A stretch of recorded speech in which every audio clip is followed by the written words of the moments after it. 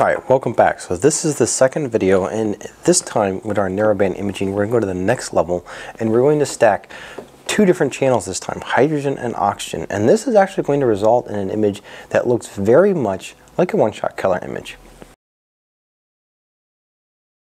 As always in ASTAP with my tutorials, I'm going to go into File, Settings, and we're going to return to the default settings just so that you can see everything that happens and we're going to relaunch ASTAP once again. Hit the Sigma button, which is going to bring up our resources palette. And then we'll resize some windows here a little bit.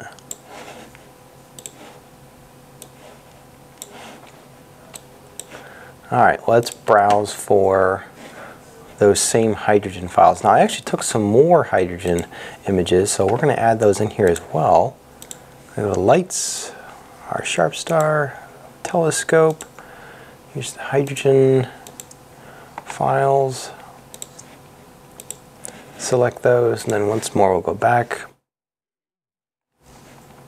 And here there's more that I took on another night.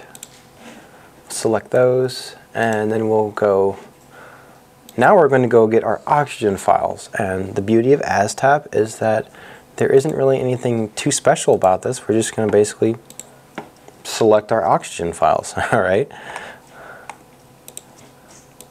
So we're going to open those images. And then here are our dark frames. Now I know that I used two different types of cooling settings on the camera when I took these images. We did some negative 20 degrees Celsius work, and then we also did some negative 10. So we're going to capture this time some darks we use 139 gain, 300 second exposures. Here's our minus 20 Celsius. I'm actually going to grab the master file since I've stacked these once before. And grabbing the master means that it's going to do this a lot faster. And then in here, I'm going to go back once again, and this time we're going to grab our negative 10 degrees Celsius. As you can see, here's all the images. We could just select all these and throw these in here, but I have already stacked these ones before, so I'm going to grab the one at the very bottom, the master dark frame, and we're going to select that. All right, and then we're going to go to the stack method menu, and there's a couple things we're going to do in here. So first off, the red channel we're going to change to capital letter H, and the green channel we're going to change to capital letter O. And we can do the same thing for the blue channel, which will just make it blank basically. And when it goes blank, that means it's going to use the green channel on the blue as well. And then down here, we're going to select our light filter classify checkbox. And what this is going to do, and this is the beauty about ASTAP, I love this feature, is it's going to stack both channels and stick them together for us. We don't have to do this separately in another piece of software. It's, it's almost like we're shooting a one-shot color camera here. And then we're also going to select the dark temperature and gain, which means that it's going to sync our dark frames that are taken at negative 10 degrees Celsius with our light frames that are taken at negative 10 degrees Celsius, and also our light frames taken at negative 20 with our dark frames taken at negative 20. and it, this really, uh, and other pieces of software, you would have to do all of these separately and then combine them later in on, whereas ASTAP just, we can do them all once.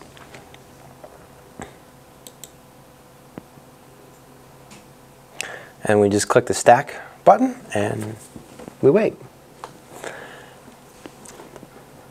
So I'm going to point out one thing to you here. Right now, ASTAP is analyzing our images. And in the previous video, I think we analyzed first and then we went and stacked. When you hit the stack button, it's, it's going to go back and analyze if you haven't done that yet. So it's, it, it's a, another nice thing about ASTAP. A lot of this stuff is built in, it's automatic.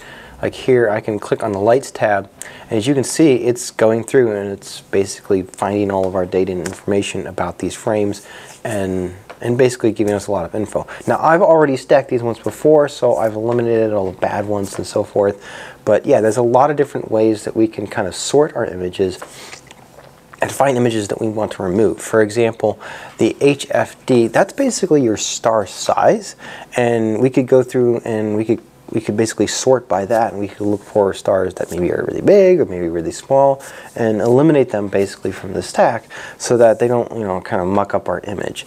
And another way you can of course do that is by the overall quality tab which is right here. And this is a pretty good general one to start with. And you know there's a bunch of other different scenarios here that we can of course sort our images by.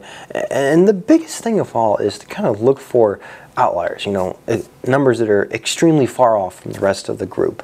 And those usually are going to be problem files. And I also, of course, also do recommend that you just kind of look through every single one. That's one of the best ways to make sure that all of your subs are perfect. And that will, of course, give us the best stacked image at the end.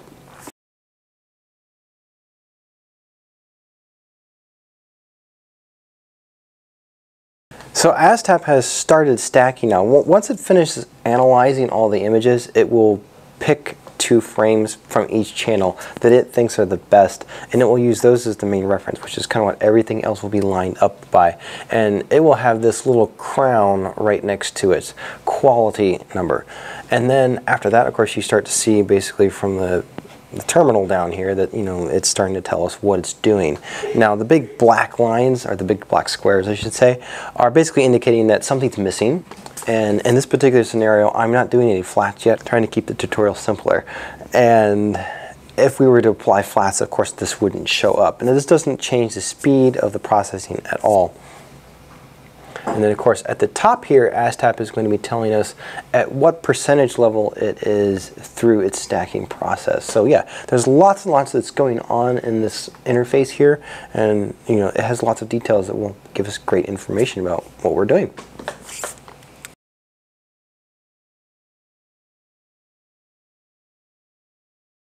All right, so we're done. And this only took 390 seconds, which is really quite quick. You know, that's just a little bit, that's about six and a half minutes. And down here, of course, it's going to give us some summary of how many quads were detected when it was basically doing the plate solving to align all the images. And then over here on the right, we kind of see our picture. And this is basically just, just kind of a pre-stretched image that ASTAP does. And ASTAP has its own, you know, built-in stretching algorithm essentially. And you can try different levels of stretching right here. These are just kind of presets that are set up. And of course, there's a bunch of different ways that you can do this. I haven't experimented with it too much, but that's mainly because I don't stretch in ASTAP. I tend to do it in Photoshop.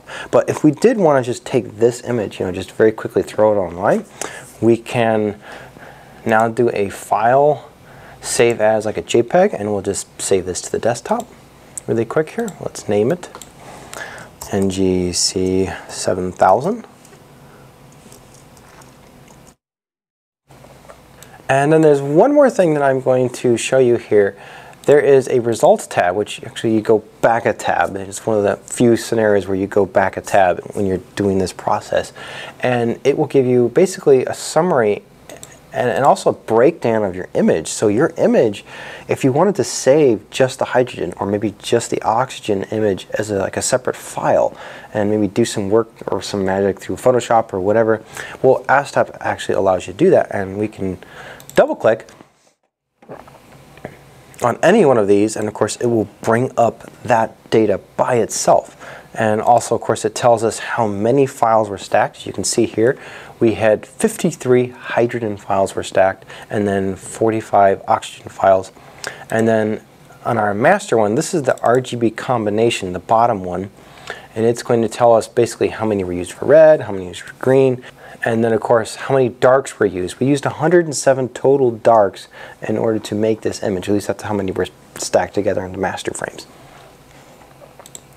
And then from that image right there, we can kind of take it on into another process and start working on it in Photoshop.